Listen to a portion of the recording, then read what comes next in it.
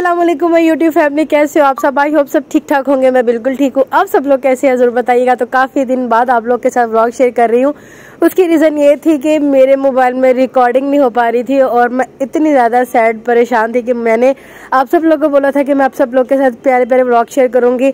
पता, मैंने एक अपने माइंड में एक रखा था कि इतनी देर से इंतज़ार था भाई की शादी का, इतनी देर से इंतज़ार था कि मैं आप लोग के साथ अच्छे अच्छे ब्लॉग शेयर करूँगी। छोटे छोटे, छोटी छोटी चीज़ें जो है ना वो भी शेयर करूँगी। मतलब मुझे चाहे पंद्रह बीस दिन व्लॉग्स को शेयर करना पड़ेगा ना तो मैं करूँगी। मतलब मैंने अपने माइंड में एक चीज़ फिट की हुई थी लेकिन ऐसा नहीं हुआ, सिर्फ़ और सिर्फ़ मेरे मोबाइल की वजह से। तो उसके लिए मैं आप सब लोग आप सब लोगों से माजत करती हूँ। खैर, आप सब लोग को पता है कि मैं शादी से एक दिन पहले चली गई थी घर में डेली बेस पे ढोल की जो थी। वो ढोलक थी ढोलक चल रही थी और जिस दिन मैं गई थी उस दिन हम सब लोगों ने बहुत मज़ा किया। मेरी कजन्स थी गली मोहल्ले से कुछ दोस्तें थी कुछ आंटियाँ थी इर्द गिर्द से, से मतलब सब जो प्यारे चाहने वाले थे वो सब इकट्ठे हुए थे। सब लोगों ने मिलके बड़ी रौनक लगाई बड़ा नाच मेला सब चला बड़ा मज़ा आया बहुत इंजॉय किया और सबसे बड़ी बात माशाल्लाह से सब खैर खैरियत से हो गया अल्हम्दुलिल्लाह से। और मेरी मैंने अपनी तरफ़ से ट्राई की कि मैं आप लोग के साथ हर चीज़ शेयर कर सकूँ, लेकिन अनफॉर्चुनेटली नहीं कर सकी, क्योंकि कभी कभी इंसान सोचता कुछ है, होता, कुछ है, खैर, जो भी मेरे पास क्लिप्स होंगे, जो भी मेरे पास कह लें कि इस वीडियो में हाईलाइट्स की तरह आपको हर चीज़ जो है ना, वो, मैं अपनी तरफ़ से दिखा दूँगी। छोटे छोटे क्लिप्स होंगे व्लॉग भी छोटा होगा, लेकिन अपनी तरफ़ से सारा कुछ दिखाने की कोशिश करूँगी। अच्छा उसके बाद ये यहाँ से स्टार्ट हो रहा है भाई मेहंदी का फ़ंक्शन जो है ना यहाँ से स्टार्ट हो रहा है कि हम पहले, सबसे पहले खाना खाएँगे और उसके बाद रेडी शेडी हो जाएँगे और उसके बाद फिर हम भाई को मेहंदी लगाएँगे। खाने की तैयारी, इंतज़ार में सॉरी बैठे हुए हैं कि ताकि थोड़ी सी पेट पूजा हो जाए और उसके बाद तैयारी करें। आपको पता है, शादियों में खाना बिल्कुल भी नहीं खाया जाता। अच्छा खाने में क्या था? मेहंदी के खाने में चिकन कौरमा था, गुड़ वाले चावल थे, नान थे और साथ में सबस चाय थी। ग्रीन टी जो थी, वो थी और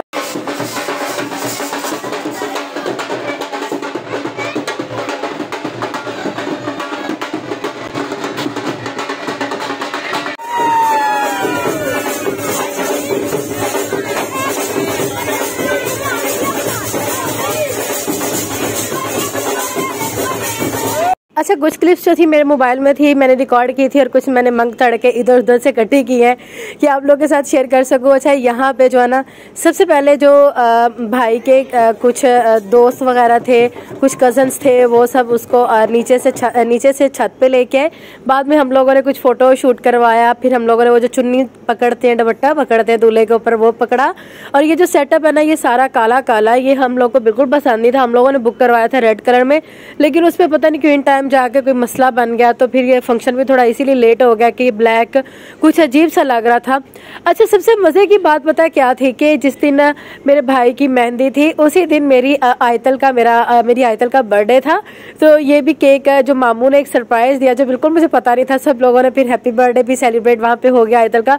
बहुत अच्छा लगा और यहाँ पे मैं जो इसको मेहंदी लगा रही थी। मेहंदी वाला क्लिप मेरे पास नहीं है। यहाँ पे मेरा फ़ोटो शूट हो रहा था। तो ये मैं हूँ। मैंने कहा, ये भी बता दो। अच्छा जब मेहंदी का फ़ंक्शन ख़त्म हो गया तो नेक्स्ट डे है जनाब आगे। यहाँ पे नाश्ता चल रहा है।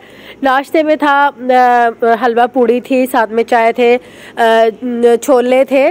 और ये है मेरा बारात का लुक। ठीक है जी? मैं मतलब जो मेरे पास क्लिप्स आ रही हैं मैं वो आपको लोग के साथ थोड़ी बहुत शेयर कर रही हूँ। और ये है दुल्हन वालों की तरफ़ से सेटअप है और यहाँ पे दूध पलाई की रस्म चल रही थी। ये सामने दूल्हा बैठा है। साथ में उनकी बहनें दूध पलाई की रस्म कर रही हैं और यहाँ पे रुखसती होने लगी है। रुखसती का टाइम था और ये भाई गाड़ी थी जो दूल्हे की आ, सजाई गई थी डेकोरेट करवाई गई थी। और यहाँ पे दूल्हे दुल्हन को लेके भाई हम जा रहे हैं भाई। हम जा रहे हैं दुल्हन को लेके और ये आगे से सरबाला कौन बैठा गैस करे? सरबाला भाई अहमद है और ये आगे बाबू के पास बैठा हुआ था।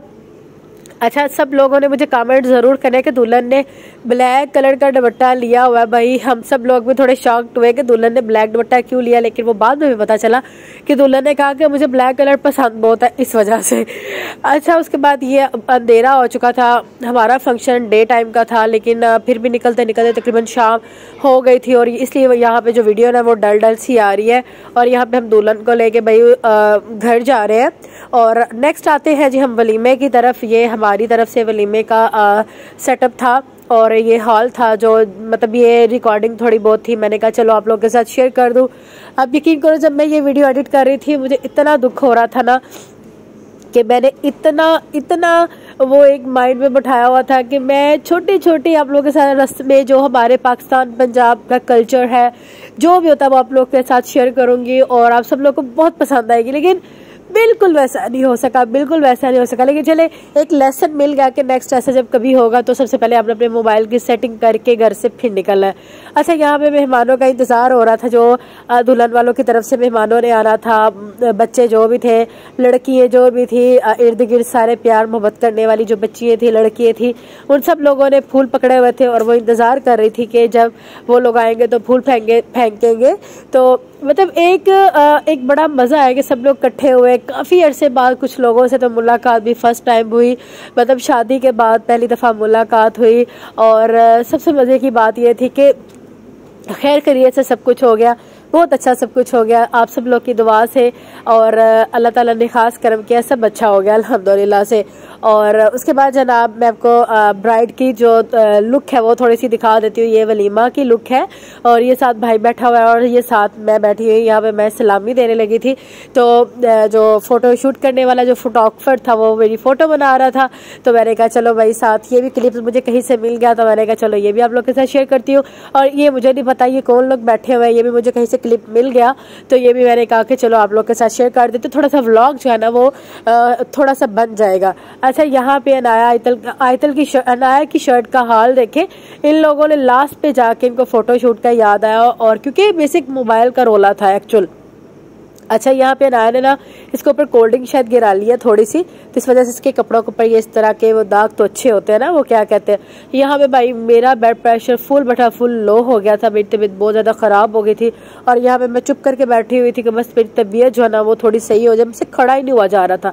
और उसके बाद यहाँ पे ये रस्म चल रही थी, ये जो व्हाइट कोट वाला है, ये मेरा भाई है। और ये घुटने पे बैठते हैं जिन्होंने पंजाबी च कहते हैं, गोडे ते बहने बैठना, ये वो रस्म हो रही थी, बड़ी रस में थी, बड़ा मज़ा आया था, सब कुछ आप लोग के साथ वो नहीं कर सकी।